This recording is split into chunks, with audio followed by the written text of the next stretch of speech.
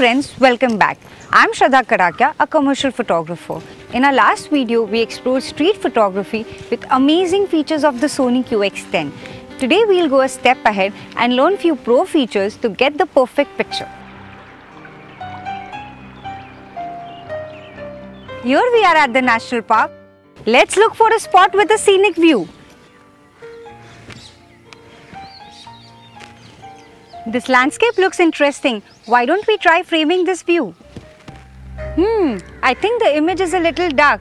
I will tap the exposure option near the capture button and change the exposure accordingly.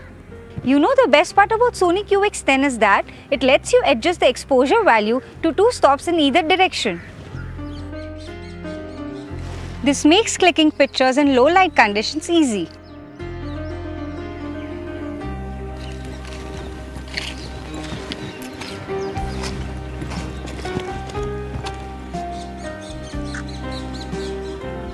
There is something odd about the color in this image. They do not match the right shades of these dry leaves. An easy solution to this would be by changing your white balance settings. Go to your settings menu and tap the white balance option. Choose the white balance preset that best suits the given lighting conditions. Incandescent and fluorescent cool white presets give bluish tinge. Play around with all the presets and judge for yourself which one is the best. I'll go with daylight. I would like to share one simple tip which is a basic rule in photography. It asks us to avoid keeping the subjects in the center of the frame. Always remember, keeping the subject on either side of the frame improves your image composition. And guess what?